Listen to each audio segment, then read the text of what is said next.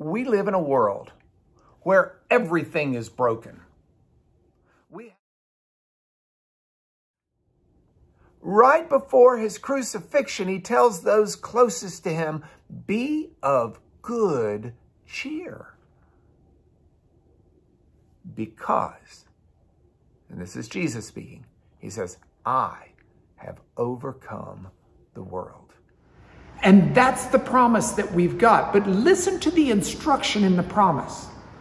They are to listen to the voice of the Lord their God means listen to what he says. And they're to do what he tells them to do.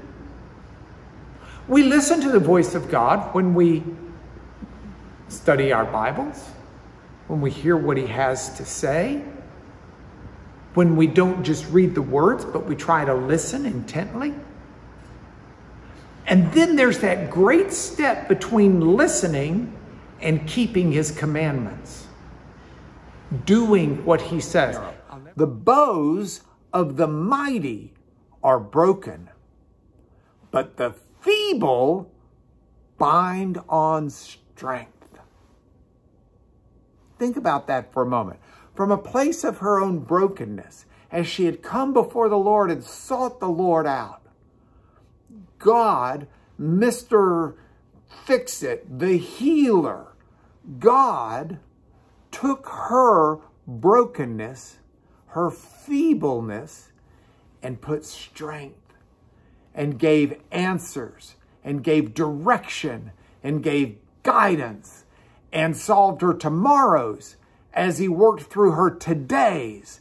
And her weeping lasted for a season, but rejoicing followed because of the Lord. And that's why in this same prayer, she says just a couple verses earlier, there is no rock like our God. The psalmist says, but as for me, I trust in you, O God. My times are in your hands. You are my God. Deliver me. And it's almost like the psalmist is saying, God, this is your job. I've agreed you're going to be my God. I'm going to follow you. I am on your team.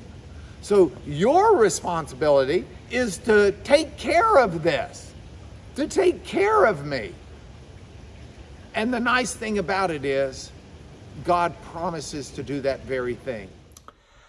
And then the psalm, he says, you know, I could sacrifice a bull, a goat. I could do lots of different things, but, but what God wanted as a sacrifice was a broken spirit, a contrite heart. You see, that's something that's not always broken, but it's something that should be. There are times in our lives where we walk around proud, haughty, self-important. Um, we, we we believe ourselves to be something grander than we are.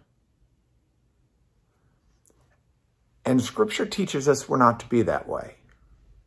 Scripture teaches the value of humility. Scripture teaches us that we are to have a broken heart, contrite heart, broken spirit. We are to exist before God not as a proud people, but as an humble people.